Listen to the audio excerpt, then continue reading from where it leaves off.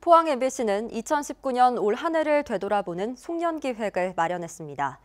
첫 순서로 울진과 영덕을 중심으로 동해안 지역에 유례없는 피해를 입힌 태풍 미탁의 상처와 태풍이 남긴 교훈을 한기민 기자가 보도합니다. 개천절 휴일인 지난 10월 3일 새벽 구조대원의 다급한 목소리가 울려 퍼집니다.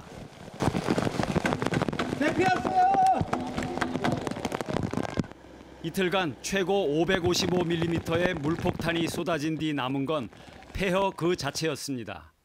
잠기고 찢기고 두동강 나고 한밤중 무너진 토사에 깔리거나 불어난 물에 휩쓸려 경북에서만 9명이 숨졌습니다.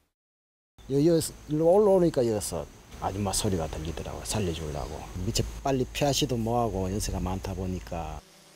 도로와 제방, 교량 등 경북 지역의 공식 피해액은 울진 541억 원, 영덕 298억 원 등 1118억 원. 곳곳에서 이재민이 발생하고 도로가 끊겨 며칠씩 고립된 마을이 속출했습니다. 아무것도 없어요. 한내 몸만 살아나온 게 가지고 쌀 한 바가지 가지고.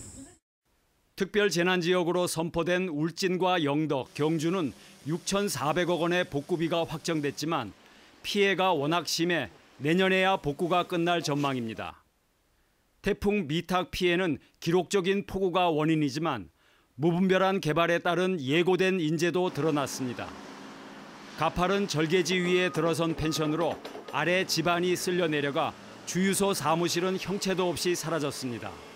일반 사람들이 그냥 봐도 분명히 위험한 거라고 다 생각하게 느끼는데 계속 건축 허가를 해주는 겁니다. 결국 피해 있는 우리는 억울해 죽겠고 골프장을 지으면서 배수로를 마을 쪽으로 내 동네가 온통 쑥대밭이 됐는가 하면 동해 중부선 철도 공사장 곳곳에서는 철길 뚝과 쌓아둔 토사가 피해를 키웠다는 지적이 제기되기도 했습니다.